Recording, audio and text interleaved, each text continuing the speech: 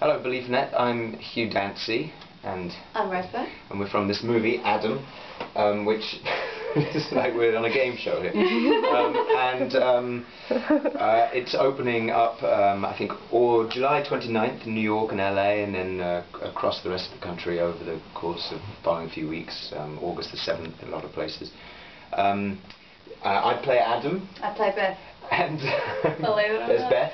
And um, as you can see, as you can, uh, as you can maybe see, we're in New York. Um, basically, it is the story of two, you know, these two young people um, trying to form a relationship with the, uh, the complication, like we all do.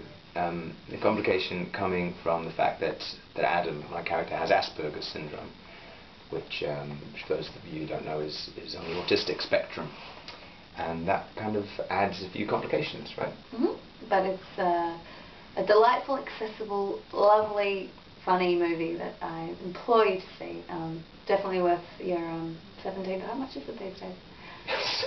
Sorry, now I'm not. How much do you pay for a pint of milk? I don't know. Uh, yeah, it's um, it's a it's a, a simple, beautiful, and as Rose said, kind of a universal story, and we we hope you can see it, and if you do, you like it.